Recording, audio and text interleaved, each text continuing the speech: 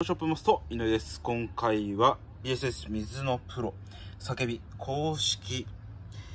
キャッチャーミット BD 型修理後アップしていきたいと思います。前列交換、そしてグリスの交換、えプラスでですね、えクリーニングとメンテナンスの方施しております。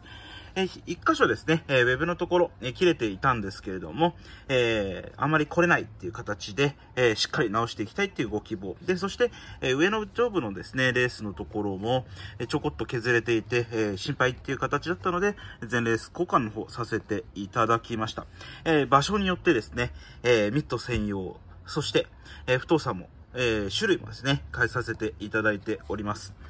え内側の方もですね、開けてみたらですね、グリスの方、やっぱりなくなっていたっていう形で、残っていたグリス、取り除き、新しいグリス、えそんな重たくならずっていう形にて、え